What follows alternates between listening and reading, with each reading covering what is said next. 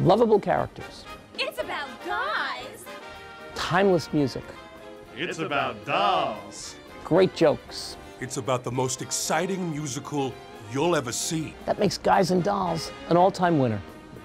The show talks about winning, winning in luck, but it also means winning in love. All of our characters are in love or want to be in love. Call it dumb, call it clever, ah, but you can give odds forever that the guy's only doing it for some doll, some doll.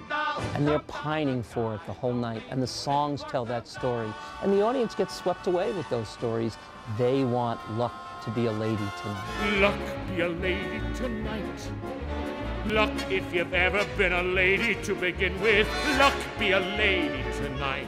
The show that defines Broadway dazzle. The ultimate musical comedy. So, Guys and Dolls was cleverly based on the stories of Damon Runyon, who wrote about New York underworld, underlife, in a very winning and telling way.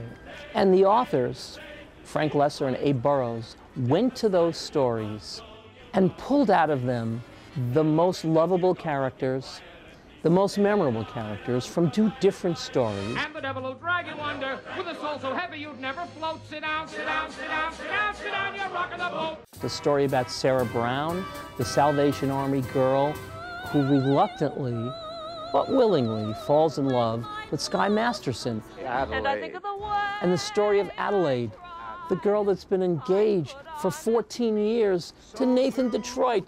So sue me, sue me, what can you do me? I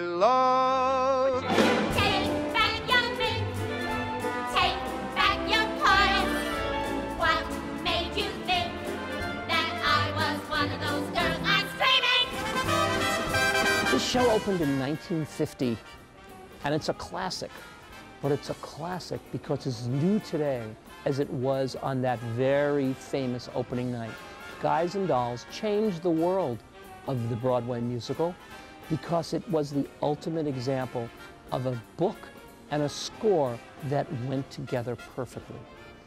And every time it's produced, every time a new audience comes to the show, they are captured by the skill and the artistry that the authors have left us. So the show speaks to us in very mysterious and wonderful ways, like that lady, Lady Luck. Live on stage. It's about the hottest show you'll see all season Guys and Dolls.